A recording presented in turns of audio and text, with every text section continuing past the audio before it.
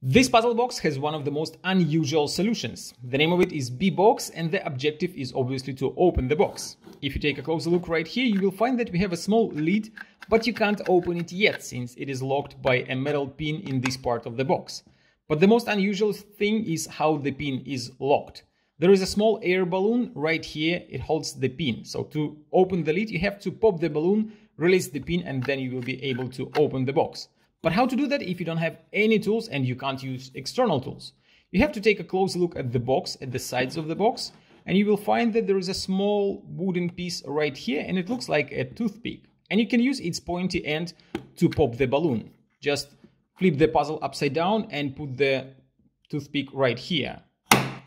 And now you can open the box.